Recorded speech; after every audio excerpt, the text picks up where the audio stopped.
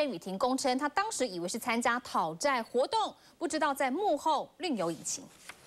我们今天是来讨回公道的，我们今天是来讨回公道的。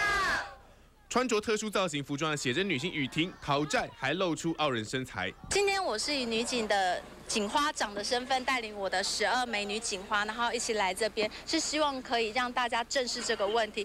除了雨婷，后方还有一票年轻辣妹，个个长腿细腰。他们说要讨债，欠债的不知道会不会因为这些辣妹给面子还钱。但警方调查，这票辣妹讨债团不单纯。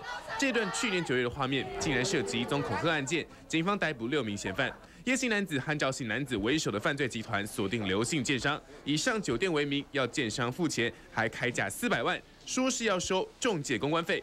双方杀价到两百五十万，建方依然不肯。后来黑道就派辣妹讨债团讨债，讨债方式非常有创意。但雨婷怎么会帮黑道索讨中介费呢？其实我只是受雇于我经纪当时的经纪公司哎。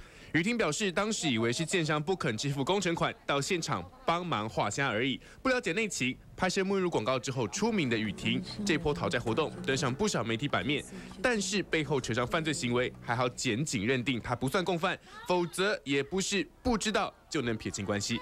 TVB 也写王花玲、林伟龙台北报道。好，我们再来看。